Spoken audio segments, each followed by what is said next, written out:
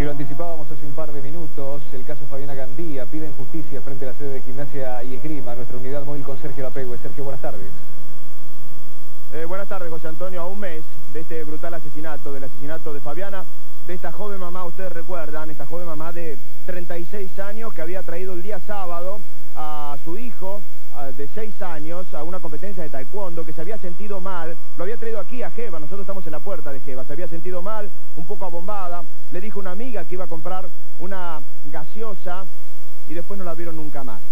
La vieron después de 7 días, tirada en, en el hueco de un ascensor, de un ascensor que estaba en desuso.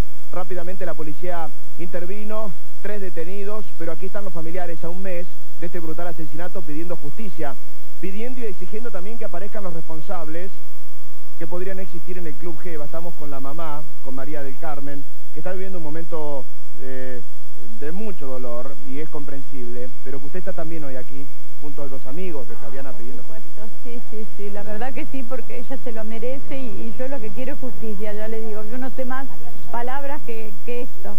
Sé lo que dice el doctor, nada más, no, no, no sé otra cosa pero gracias a ustedes que han ayudado en tanto a nosotros, antes de que pensábamos que estaba viva.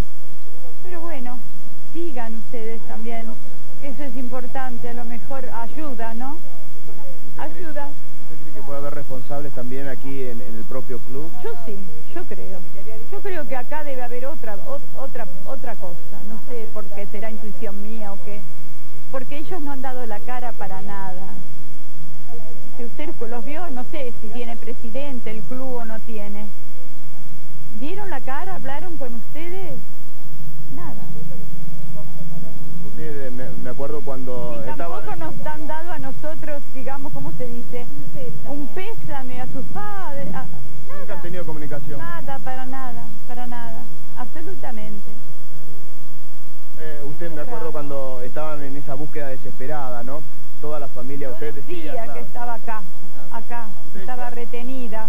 Que la dejen, ¿no? Que la dejaran, pero lamentablemente ya estaba muerta, ¿no? ¿Y en qué momento, en qué lugar? Esto no, no tiene... Ojalá que esto salga todo a la luz. Cuando se enteró que habían detenido a estas tres personas, usted ahí sintió un poco más de tranquilidad. Sí, pero no sí, porque son este, justamente lo que el abogado, ahora hay que esperar, me parece. Así que bueno, vamos a esperar lo que dice la justicia. Muchísimas gracias, María del Carmen, ha sido muy Muchas gracias y le agradezco muchísimo a todos los medios que han, que han ayudado. Nosotros vamos a marchar, como hemos marchado por María Soledad y como hemos marchado por Cabeza, vamos a venir a todas las convocatorias por Fabiana, porque nos indigna. Nos indigna la forma que se está procediendo, nos indigna como nadie da la cara, nos indigna ver sufrir a esta señora como está sufriendo. Además no puede quedar impune. José Antonio, eh, aquí se han reunido los familiares, eh, se han reunido también los amigos están entregando los amigos de Fabiana, particularmente folletos, con las explicaciones y los recordatorios para que nadie se olvide de Fabiana a un mes de su brutal asesinato. Esta joven mamá que había traído a su hijo, como todas las madres, para verlo en una competencia y que terminó siendo violada y asesinada. Y después la búsqueda desesperada de su familia, hasta que su cuerpo aparece en el fondo de un ascensor en desuso.